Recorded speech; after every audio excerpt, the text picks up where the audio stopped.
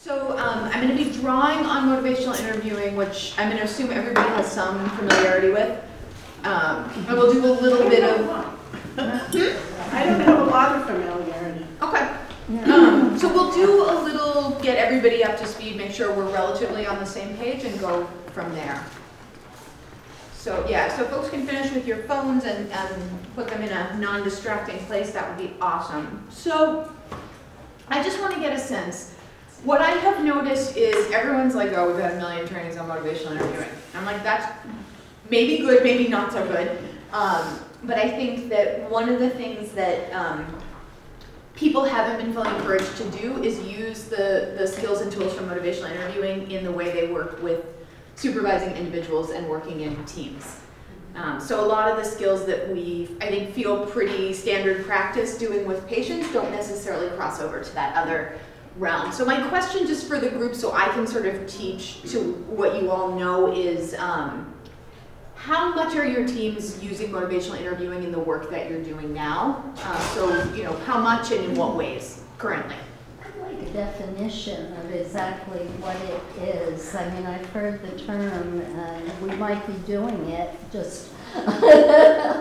Yeah, so with someone, um, someone who's pretty familiar with the content, how would you summarize motivational interviewing? So it's a set of skills that is really to engage the person to come up with, ask open-ended questions, to guide a conversation, but really to have them kind of decide what's going on. Mm-hmm. What's, what goals they want to meet and how would they describe how things are affecting them. So trying to understand through the patient's own perspective what's going on and helping them set goals that they actually have an investment in. Um, other things folks would add to that? I think it's a methodology for behavior change. That, and just to add on to that, it's a specific skill set that works towards behavior change from a patient or a person perspective. So it is a, a skill set, and some of the skills within it are things that you might already typically use, but there is a specific framework around it and skill-based practice. So it is very um, person-centered behavior change, model change for that. There's this very specific definition and certification around it, but there's also skills you can teach so that you're utilizing it. So it's behavior change that originally comes from kind of the mental health therapy Substance world. use. Substance use, therapy, you know, psychotherapy world, but it's been adapted widespread to pretty much every aspect of kind of healthcare and um, other areas. Right, it's an NCQA um, requirement, and it's a standard that we have to meet for patient care coordination, and we have to make sure that our, our staff are trained in it. Yep. And that and um, population health management and self-management. Mm-hmm. And um, since we're on this topic, I was going to, it's very hard to send people out to training. And if there's specific um, uh, uh, resources on the internet that I can direct uh, our staff to. Yeah, we'll, we'll talk. You'll- There's you'll- definitely you'll stuff talk. that's out there, Okay, for good. sure. Okay, thanks. So, um, how much are your teams using motivational interviewing now? Or how? Yeah. I, I mean, I just have to, to speak for us. We have had an entire training for all of our staff. We actually train monthly. We have an all. That is a best practice right there. We have all, we have a clinical meeting, which is a huge chunk of, um, and we do anything from activities to, you know, listening to our day-to-day work and how we can improve on that, constructive feedback on that, because none of us are perfect. It's a constant learn it, learned skill. It's not something that, like you said earlier, you can't learn it and then be done with it. It's constantly, because there's so many different types of people out there and so many different ways to utilize motivational interviewing, then, you know, we are constantly This is great. to be honest. Yeah, so the recommendation that I make, because I work with programs nationally, is that folks do core training and then they do booster training and they do regular. So the, the teams that I work with try to do a, a booster every month that's really practice based. So either applying motivational interviewing to cases or doing skills practice um, and getting feedback from peers. Because you get rusty. And I was gonna say, even if the clinical staff come up to us, you know, we really try to say, how could you have asked that, you know, how can we ask that differently, or how can we look at that differently to really help them grow, and for all of us to have always a constant um, theme and have that always on our mind. You- well, What discipline is this in? Uh, Is it primary care? Is Oh, it? we, we, we work, um, it's the clinician staff at the insurance, so we do a lot of telephonic calls. Um, all of our clinicians, social workers, um, nursing staff, uh-huh. it's all of our interaction with our members, our Uh-huh. patients. Yay. I see, I should just call Blue Cross of Vermont and say, screw Massachusetts. I'm like, I'm not someone motivational interview me when I have a customer Full issue. disclosure, it's met with lots of groaning from the clinical staff. Yeah. Yeah, I'm sure. we're done with this yet? Yeah. No. Yeah, I mean, I, I think trying to get buy-in, because people, I mean, I, I hear this all the time. People are like, oh, we had a half-day training, and I'm like, no. No. Did, did you learn how to, you know, be a chef by taking a half-day training? Did you learn how to be a potter by training for a half a day? It's not that kind of a thing at That's all. right. Yeah, um, here and then I was just that. gonna ask you to repeat because we are struggling too with how to keep it Mhm. going. And you mentioned core training, booster training, and you said a third Monthly, thing.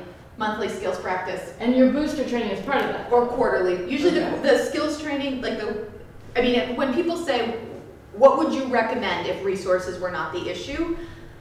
Foundation training, quarterly, like a half day, more in-depth, and then, booster and then booster monthly, ninety minutes to two hours. That's what we, that's like the Cadillac. Hmm. Yeah, go ahead. So I just want to say, so I can speak for SASH and, and some collaborative training that we did. So we have this built into one of our core principles and we struggle to find enough resources to keep it up and consistently train. We did do um, a collaborative training is I think three years ago now where we did the six month, we tried to do a peer leader training. We used some mint certified trainers who are in Vermont and you know, full day on either end, monthly calls in between, so that we had peer leaders in the community. And this wasn't just SASH, you know, it had, um, had people from WIC and had economic services, it had AAA's, home health. It was this great cross section. It was like the ideal training environment. And then, but getting those peer leaders who are actually field level staff to be able to keep doing these peer trainings and monthly. It's a big commitment. Huge commitment. I think Jen and maybe a couple others are our only peer leader trainers left in the state. And she's getting requests to go out of state and continue this training. Yeah. And we can't even keep our 140 staff in the state trained. Trained.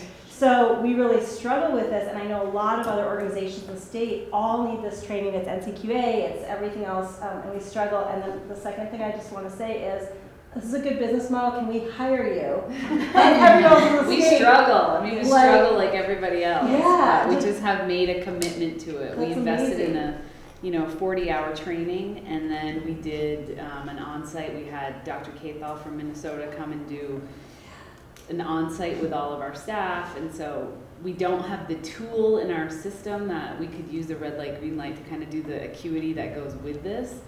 But we're hoping to get that, maybe in two thousand eighteen, I think. Um, but, you know, we've had the training, it's an integrated case case management Mhm. training, and it's, I don't know if you've heard about it, but he's done quite a bit of research on it, and so he came himself with actually, um, a mental health, uh, case manager that did the training, that was really important to us, to have a medical, he's actually a psychiatrist and a internist, Mm-hmm.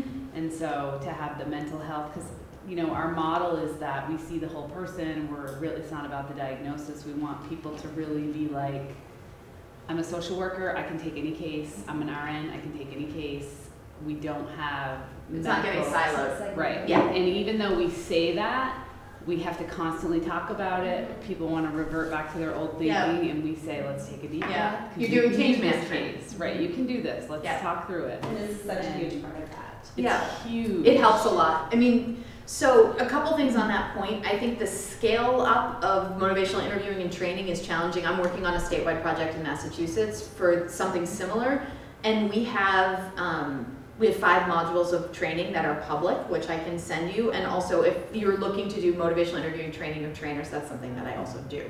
So we'll be in touch, and we'll we can share resources. We don't have any money. We just like to hire people for free. you can hire me for free, but I can send you free stuff. okay, that's good. Um, so I think it, it surprised me in some way because, um, I mean, I'm trained as a, a mental health clinician, so this is sort of how I was trained to work with people, right? And so, um, it was really interesting to see that people who are totally bought into their staff doing motivational interviewing, focused behavior change work with clients reverted back to being directive and punitive as supervisors.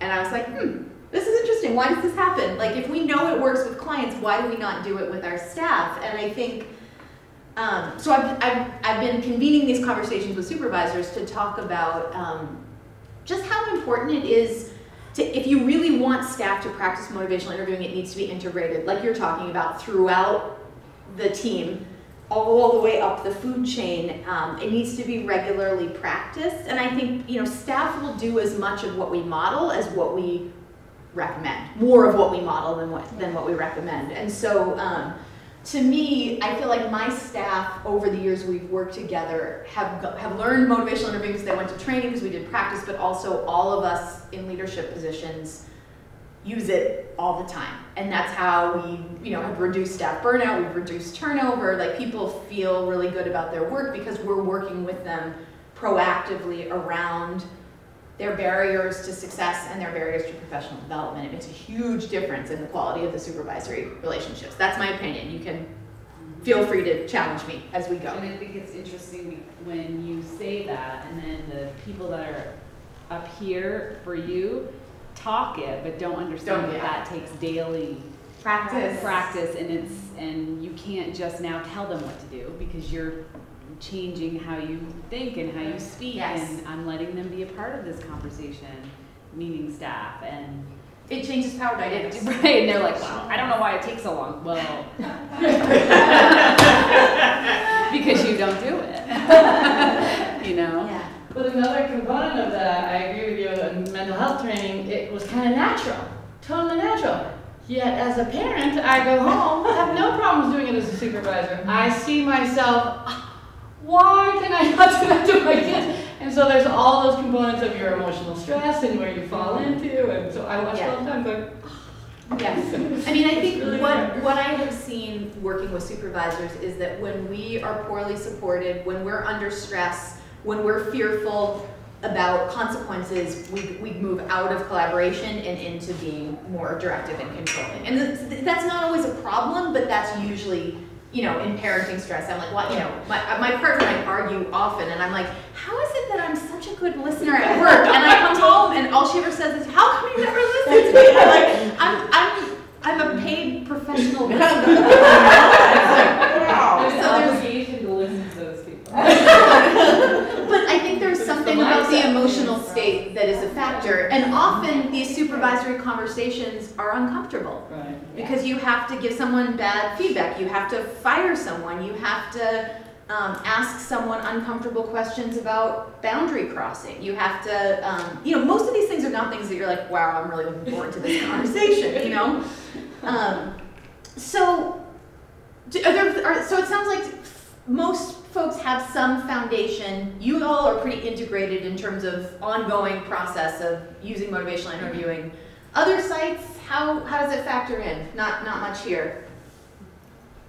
No, middle? Middle. Okay, all right, In cool. So, um, so this is, so I, I wanted to do a summary of both what um, Carla and her team taught in their um, foundation training. This is basically a summary of my five motivational interviewing models, modules in one slide.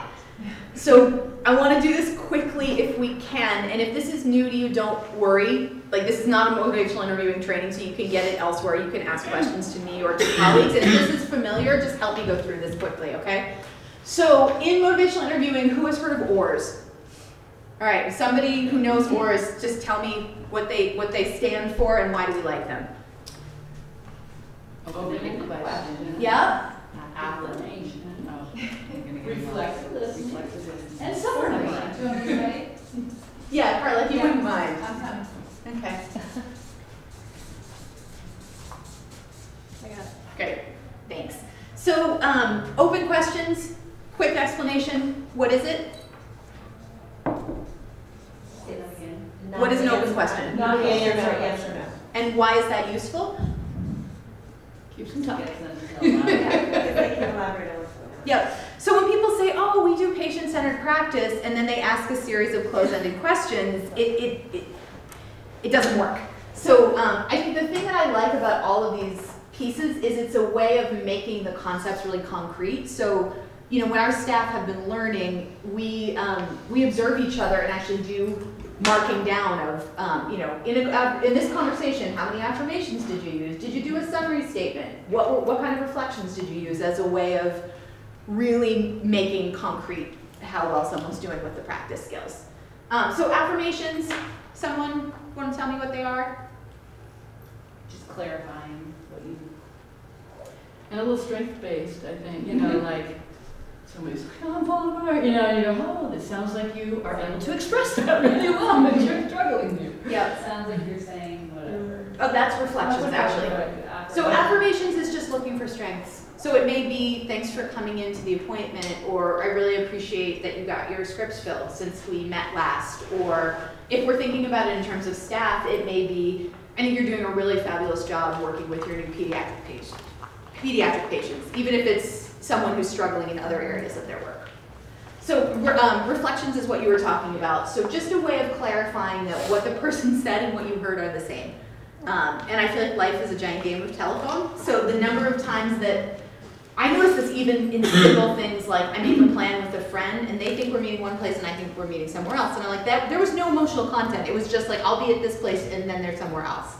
So to, to make sure we're on the same page. And then um, I feel like summaries are the most straightforward. So how, how would you summarize a summary? What's a summary? Saying back what you've heard over the last 20 minutes allows the person to kind of hear back what they've kind of been saying, so you kind of just pull key points Yeah. And this is really helpful in a team meeting. It can be really helpful in an individual supervision meeting or case review to be like, okay, what are the factors? What are the strategies we're going to use? What are you going to do? What am I going to do? Um, really to make sure that that both we, we're remembering the important stuff and that everybody is clear on what the follow-up is. So that's the flow. And the other S, which um, has gotten left out of some trainings, is um, silence.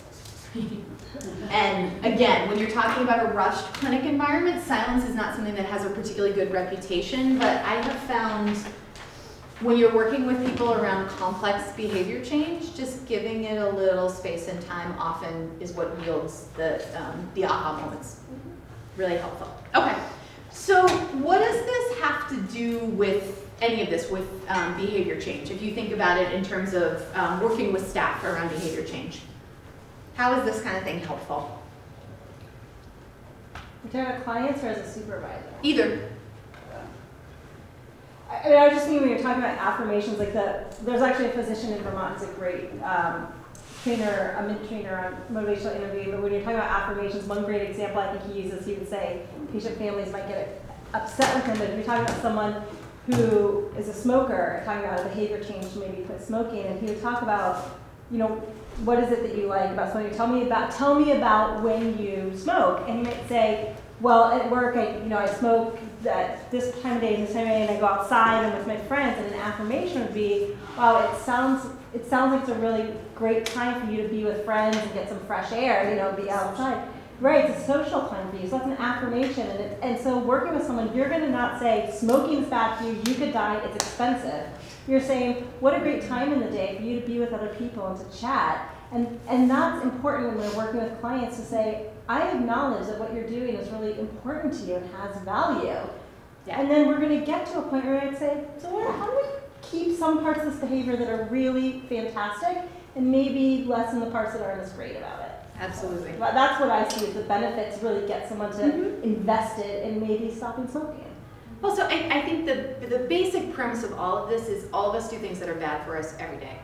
Whether that's, you know, being a jerk on the road, whether that's drinking four cups of coffee with too much sugar, whether that's, you know, smoking, drinking, being mean to our loved ones, like, it's not an exclusive purview of people with health issues to be self-destructive. It's part of the human condition. So we assume that all behaviors have pros and cons, and that it's our responsibility as um, collaborators to understand the pros and the cons of why someone's doing what they're doing. So I think for most people, that's not a really radical idea, but when you think about it in terms of staff, it gets more interesting. So, I mean, I think about some of the performance issues that folks on my team have had. Um, bad documentation, uh, lateness to meetings, um, seeing their caseload really unevenly, boundary issues, um, and all of the things they do that either are not best practice or are against policy and protocol have pros.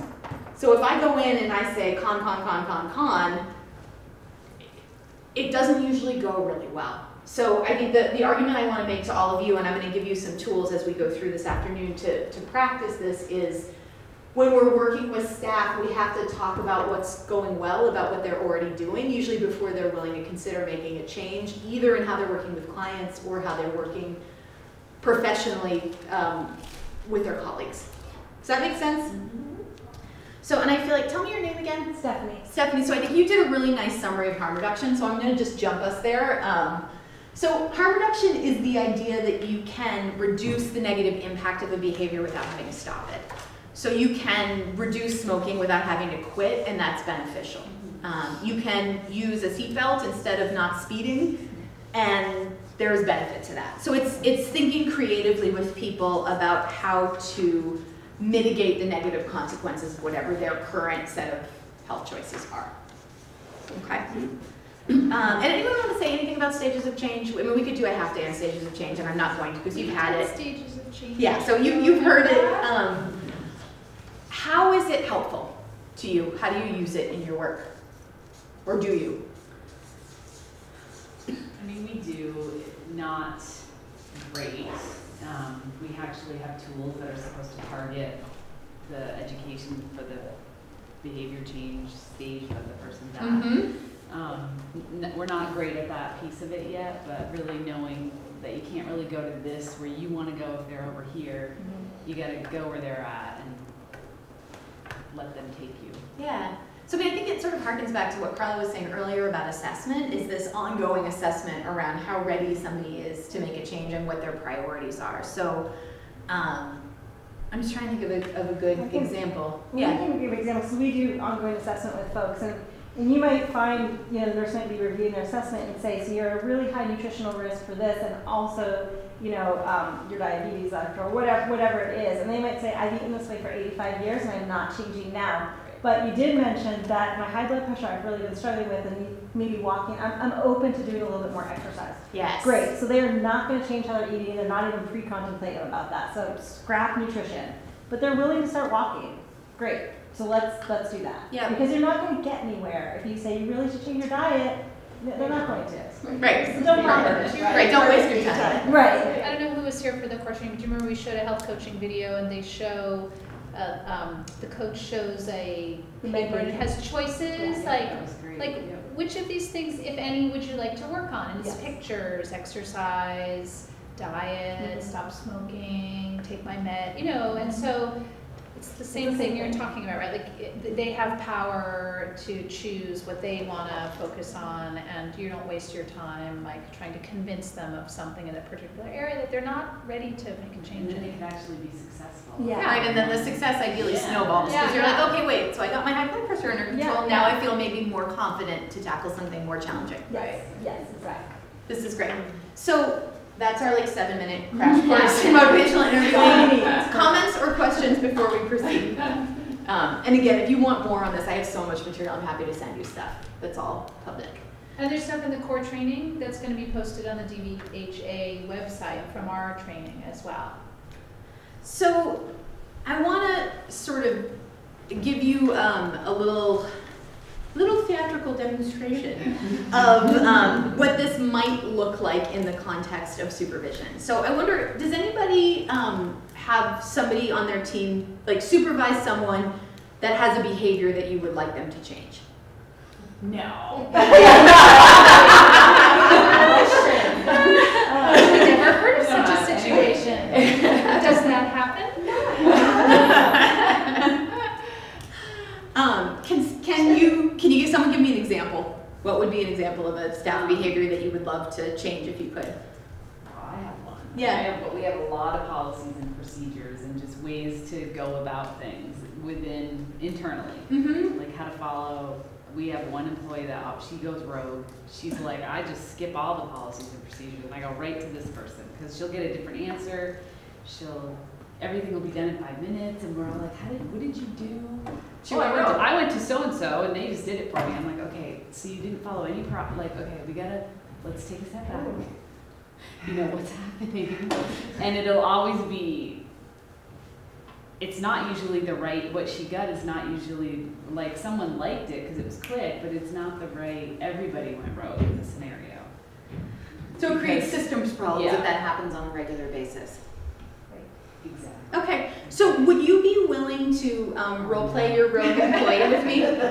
Sure. Okay, cool. See So- you guess who it is. Um, so let's just move these over here so nobody has the light in their eye. Carla, Are will you you gonna gonna sit in those chairs? Yeah. Yeah.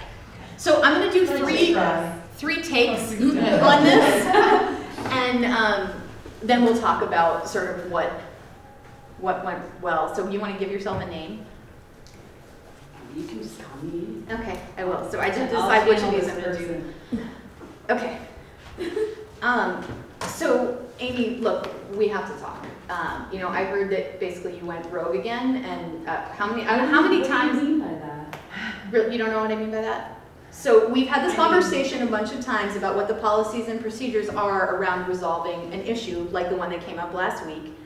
And I heard again from people that you didn't follow the process, you went Right, around Julie, the process. processes are ridiculous. But you don't get to make them up the way you want them to be. I know, but I get it done faster. But it creates problems for everybody else when you do that. So what I'm saying is, I'm giving you a verbal warning about this rogue behavior. You need to follow the policies and procedures, and if this happens again, you're gonna be put on probation. Do you have let any questions? I mean, I do, because in Amy's brain, this is how this works. I get it, but you, you work here, and, it- and you don't get to make it work the way you want it to work. You need to do it the way that it's written for everyone. Um, look, Right, I have mean, another meeting I I'll have to go try, to. But I appreciate that. I'm not sure how, you know, I'll try. Right, you're, if you have a problem, you can talk to your colleagues, because they seem to be able to do this. I know, but they don't do it right. Conversation for another day. Okay, that was take one. Take one, so, so stay.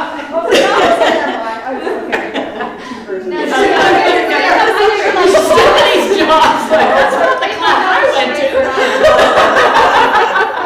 I've never dared to talk to her like that. I have a witch that lives in here too. Um, Okay, so, hi Amy, how are you? Good, how are you? I'm good. How are things going with your work?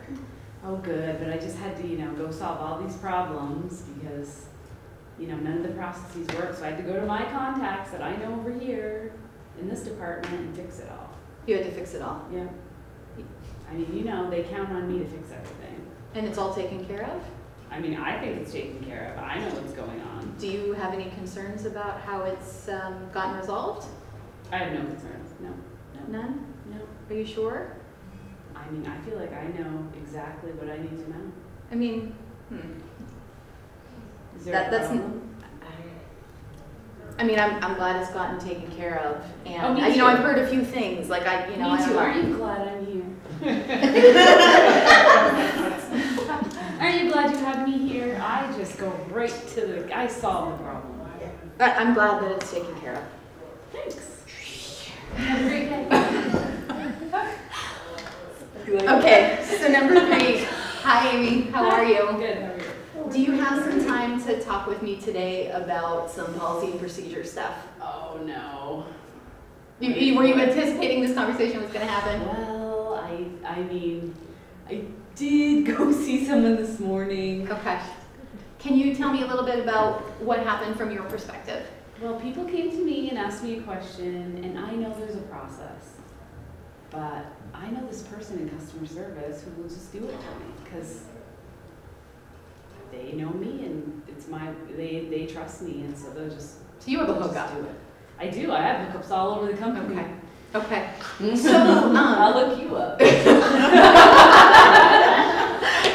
You know in my role, I cannot have a hookup. Um, so, so tell me a little bit, what's the advantage of kind of going to someone you know as opposed to following the flow that's expected? You know, I mean, I just think that these people don't know, and I want to solve the problem quick. Okay. So it gets you to a solution more quickly? Yes, and in my brain, that makes me valuable, and I just do, I get it done. Okay. So you have some pride in being a good problem I problem do. I do. Okay, It's very important to me. got it. But also, it sounds like from what you're saying that there's some way that you don't have faith that your colleagues will get things done in a, in a right and timely way. You have no idea. Okay, I mean, I, I have some idea, but yes, some concerns in that area. So, so it sounds like there are some good um, advantages to kind of doing the, the, the rogue approach. That um, it gets stuff done. That you you know feel a sense of pride in being able to resolve a problem, and that you're it doesn't put you in that uncomfortable I mean, territory. I just want to, can I just tell you that no one thinks how Amy's brain thinks. okay. So that's why I have to do it my way, because I get it, all the other people need the pro, the process, but I don't need it, because. So, so Amy, do a little thought experiment with me. So if, if we think about there being any disadvantages to, um, to using a, a, a side step as opposed to following the, the policy and procedure, what, what do you see as possible negative consequences from that? I mean, I guess some people wouldn't understand what I'm doing, and everyone, the other departments might see that I do it different, and so I could see how that could cause some confusion. Okay, so But there's for some risk for any confusion. Okay, so it's, there's risk for confusion for the people that you collaborate with. Um, what else? They love me now. Who? The, all these people, they think I'm the best And what you do? person here. Yeah, I'm just telling you. Now, I don't like to toot my own horn, but Okay, so in terms of other consequences, there is, there's the confusion factor. Is there anything else that you have heard or that you could imagine would be negative related to this I um, mean, approach? I can tell you don't like it. I haven't said anything yet. You know I'm gonna say But- something, but we're not there yet. I mean, I can tell it upsets you, and it does make my co. It, you know what it does? It makes when people come over to the department, they just seek me out because they know I'm gonna just give them what they want. So I can see, and it makes other people mad that they have to follow the process. So I can see where they're. So it potentially creates some discord with the other people in your department. It does. Does it create more work for you because people come to you directly? Um. Yeah, but I really like that. Okay, so there's something about feeling like you can resolve the problems and you have that ability I that's. love that. Okay. That is really important to me. Cool. So Amy, are you open to hearing some feedback from me on this issue? I mean, yeah. Okay, cool. So I think what I want to say to you is I really appreciate your enthusiasm for both efficiency and problem solving and sort of taking pride in being able to get results in a timely fashion. I think that's um, an asset and like one of the reasons we hired you in the first place. Um, but the feedback I want to give you is that um, the the not following the protocol really is creating problems. If you were like your own company, it would be one thing, but you're working as part of a team in a much larger entity. So when you don't follow the flow, it it not only um, creates confusion for other people, but it also um, I think there's a sense of unfairness because I think you know you said my brain works a certain way, but everybody's brain works differently. So the rest of the staff don't follow the policies and procedures necessarily because that's how they would do it, but that we've sort of agreed to like these are the rules of how I we get what work saying. together. Not everyone has Amy's brain. Well, but they, they have different brains that also maybe have something useful. So, um, so we should talk about that. we should, we definitely should. So, what I'd like to do is for us to strategize together in the time that we have left about how we could make sure that the problems get resolved efficiently in a way that doesn't create discord on the team. Because that, for, from a program manager perspective, that's really my priority. And I don't want to cause problems. I appreciate that. So. Cool. I So, so if we had more time, we would go through that whole thing. You can go back where It you was were. Amy, I really appreciate that you were not, you were going for it. taken me a long time. Yeah, yeah. Finally, the person just said to me the other day, I just want you to know, I was gonna go rogue, but I didn't. The behavior change is afoot, huh? So, um, so talk to me about those three approaches. What, what did you like or not like among them? That person you clearly were missing. No, I didn't know. The Time, the agenda, time- own agenda. Yeah. And how- There's no reason to bother you ever again, because I'm just gonna continue doing my thing. Yeah, because there's not much, no place to go from there. And how, how did she respond to that?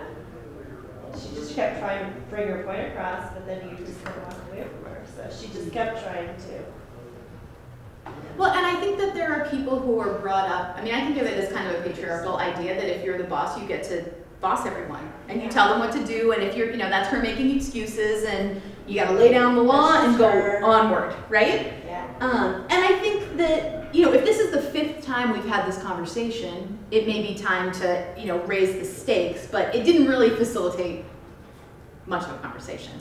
What about the second one? You're a little bit passive aggressive, I feel like. Yes. Yeah, like you started out okay, you asked an open-ended question, and then, but then you, you got really, yeah, you got passive aggressive. And also, she left with no understanding that that was a problem. You Yeah. actually said, okay, and she's probably like, You're kind of like, She me. yeah. Yeah. So it, I feel like it was somewhere between passive and passive aggressive in that there's an issue, but I didn't feel comfortable to address it with her directly, or I wanted to avoid a conflict if I could. Um, and that was maybe a little bit of an extreme example, but I've gone into supervision with people, and you're like, there's something they want to talk to me about, but I don't know what it is, and I don't know how to get them to bring it up. And you're like, this is really awkward.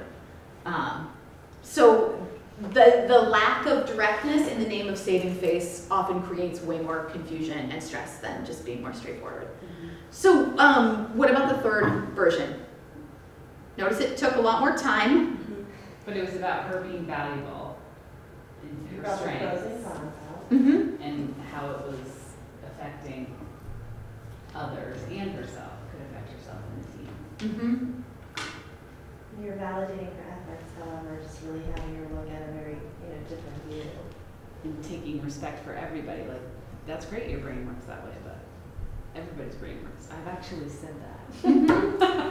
Or even, can I So- Yeah. Like, Even, like sometimes processes are annoying, right? I mean, like. Yeah, they're inefficient, they're- like, they're you're like, stupid. God, this really is gonna slow everything down. Why would I do that? And, and sometimes we work in these systems where we don't have the ability to change all those, pro- like, even as a supervisor, you're, you might say like, yeah, this is kind of a- annoying, we have to go through this, but we do. But so it validates some of the, like, there's a reason to do some of what she was doing, right? And, and it's not like we just wanna completely say like, everything you're doing is worthless. It's like you said, just trying to, The other departments too when you do that, so. It's just like thinking of like the bigger implications, but, but at base, there was something okay about what she was doing theoretically, right? It just, Well, it's, I mean, it's, I think what, what I've noticed in a lot of the behavior change conversations is the pros for the current behavior usually are quick fix. So it's like if I smoke, I feel less stressed right now. right. And the con is in 20 years I might have lung cancer. Right.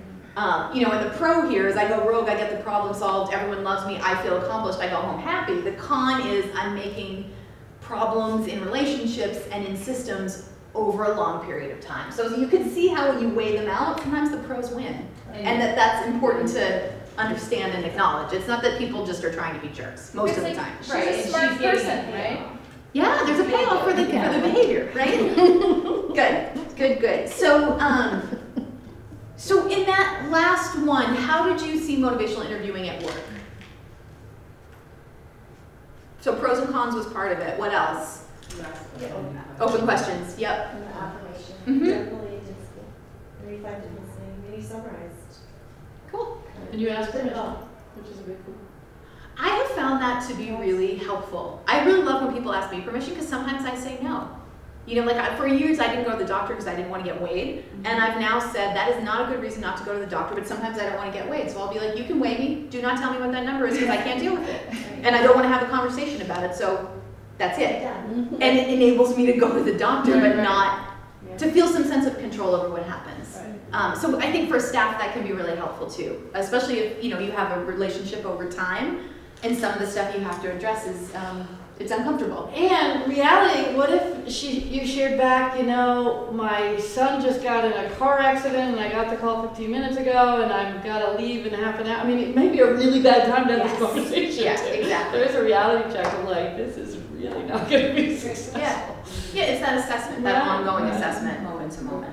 I think, I just want, I I think the ask permission is something that I need to work on, and, and it was interesting in supervisory role to do MI, because I think that I'm really good in a client situation, and I tried to, I've tried to do this very open-ended approach, um, and some of my staff, it makes them very uncomfortable, actually, and I was surprised by that, and I was like, why are you uncomfortable? I'm not asking open-ended questions, or talking, because I think they were like, where is she going with this? Like, the, what's your agenda? What's your agenda? Where you go? And I was like, oh God, God, I'm just trying to like really listen and I want to hear where you're at and what are you liking and you know whatever. But I, I don't think I asked permission. And now as you're talking, I was watching this, I was like, I need to think about what, how would I phrase, what am I asking permission of, you know? And then also I'm thinking about we're getting your year end, reviews are coming up. Am I really going to say, would you like to have your review conversation today? Because that's, the, the an- no is, you can't ask a question that you can't hear no to. You know what I mean? So it's a different Right. question. And so you really have me thinking about how am I going to do this and that, you know, whatever. That, thank you for that. I have, I, I don't know what I'm asking permission for, but I think that was the missing piece to me being just Yeah. really open-ended. They, were, Yeah. they all of a sudden got really nervous and I was like, Well, and I think too, if you have, if you've worked a certain way and you start to switch your approach, people get unsettled. yes. And so I sometimes will say, I just learned some new stuff and I want to practice it. So if I'm behaving differently, right. I'm trying some stuff out. You can tell me how you, yeah. if you like it or you don't like it or how you feel about it. Right. I'm either um, like too directive or too open-ended. I think. Yeah, I mean, I think that's the. I know I've been a student of Buddhism for a lot of years, and I think the middle path is actually really challenging because it's easy to let everything go, and it's easy for some of us. It's easy to be a hard ass, Yeah. but that middle ground where you're like, no, we're going to have clear boundaries and clear feedback, but I'm not just going to give you a blank check to do whatever you want all the time. It's uncomfortable. It can be really uncomfortable. And it's interesting when you ask permission of that person, I know for me, I've already thought about it a long time before that we actually have the conversation, so giving them time, they probably know what you're gonna talk about. So Yeah. giving them time to think about it, cause I've already thought. Yeah, you're prepared. I'm prepared, so it's like, yeah, I never Well, I've had people sometimes say no, and I'm like, okay, I'm going to bring this up, you know, when we meet next, because there's some things that are important for me to bring up with you when you're ready. Yeah. Um, It's not like knows the, No, it's not the final answer, Right. but it can be the answer right now. Sometimes